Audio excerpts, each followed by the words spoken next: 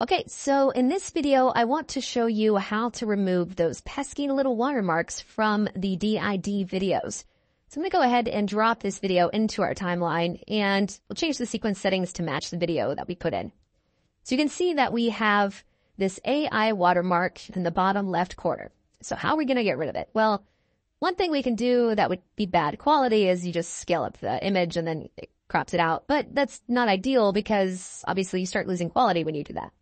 Uh, the other thing that you can do is I have the actual still. So this is the image still that we used before we animated. And what I can do is I will drop it right on top of the video. So you can see we have the image on top of the video. And if I toggle the, the eyeball here, you can see that we have image and video. Now the image is a little bit bigger than the actual video. So you can right click and go to set to frame size. Now, if we turn it on and off, you can see that it's the exact same dimensions. So now all you actually need to do, if you have the image selected, is go to your effects controls panel here. And there's this little tool that's a pin. And the pin basically is allowing you to create a matte.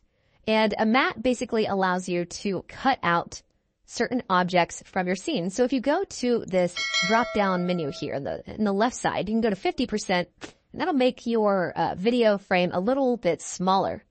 And you basically can click and create just kind of a rough shape in the corner here. And then click away. And now if we change this to fit, it'll kind of scale it up a little bit. So now you can see that this part is the only part of the image that's still there. The rest of it is completely transparent and revealing the video that's underneath. So now if we play it as an AI, I might not possess biological life, but I do demonstrate a complex level of response and adaptability that resembles a form of cognitive life. Moreover, if we def- so that's pretty cool, right? That did a pretty good job and I would be pretty happy with the results uh, from this. Now, another thing that you can do is use Runway's in-painting tool for actual video. So this technique would be very helpful if the watermark was over moving footage. So if like this background was moving, for example, and we needed to remove the watermark that was like over the background, we would use this in painting tool.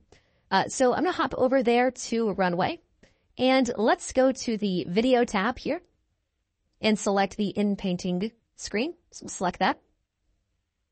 And we need to upload the footage. So you can just click upload and select the footage. I've actually already imported it into Runway here.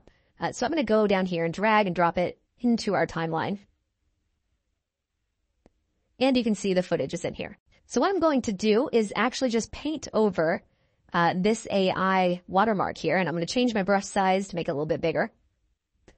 And let's just get rid of the watermark and click away.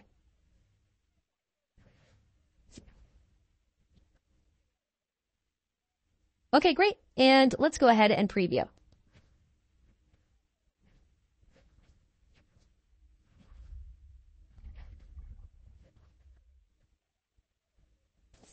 Cool. So the watermark is now removed.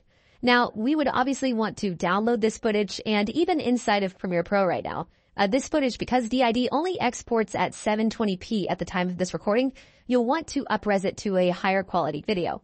And to do that, um, I would recommend using Topaz Video AI. Again, that tool does cost a little bit of money. Uh, it's a little bit on the expensive side. Uh, but if you plan on making a lot of these AI projects, I would recommend uh, downloading that and subscribing to the tool. So you can essentially upres this video from the 720p format to, you know, all the way up to like 4K, for example, uh, so that the video is just super high quality and retains all of that awesome detail.